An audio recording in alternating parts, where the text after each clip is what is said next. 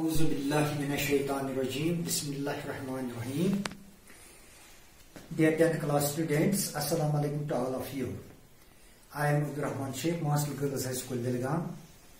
Dear students, our today's topic is direct and indirect speech. अज़ीज़ तलबा और पिछली एक दो क्लासों से हम चेंज ऑफ़ नरेशन के बारे में पढ़ते आए हैं और आज का जो टॉपिक है, ये भी चेंज ऑफ़ नरेशन का एक पार्ट है। तो यहाँ पे हम देखेंगे कि डायरेक्ट एंड इनडायरेक्ट में हम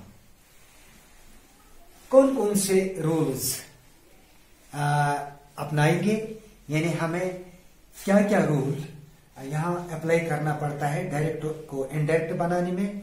या इनडायरेक्ट को डायरेक्ट में चेंज करने के लिए। तो यहाँ देखिए rule number one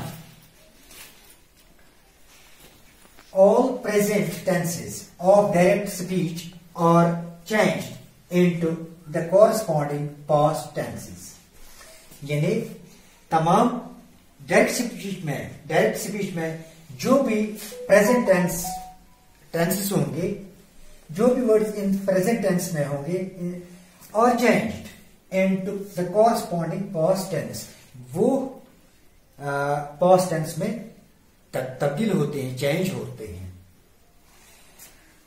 दस आप देखिए यहाँ A a simple present becomes a simple past सीधी सी बात है।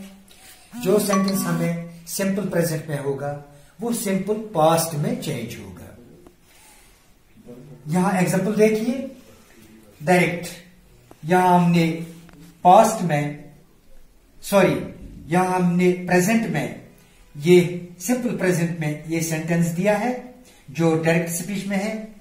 He said I am unwell यानी ये डायरेक्ट स्पीच है, क्योंकि कामाज में जो है, ये इस थर्ड पर्सन सिंगुलर जो है, या सब्जेक्ट जो है, इसका पूरा मतलब एग्जैक्ट इसी के वर्ड्स है यहाँ इन्वर्टेड कामाज में, इसलिए ये डायरेक्ट स्पीच है। तो आप देखिए, ये सिंपल प्रेजेंट में है। तो देखिए किस तरह से ये इनडायरेक्ट में सिंपल पास्ट में चेंज हो जाते हैं। तो देखिए indirect he said that he was unwell तो यहाँ एम वॉज़ में चेंज हो गया। B a present continuous becomes a past continuous तो आपने ऊपर देखा कि जिस तरह से सिंपल प्रेजेंट सिंपल पास्ट में चेंज हो गया।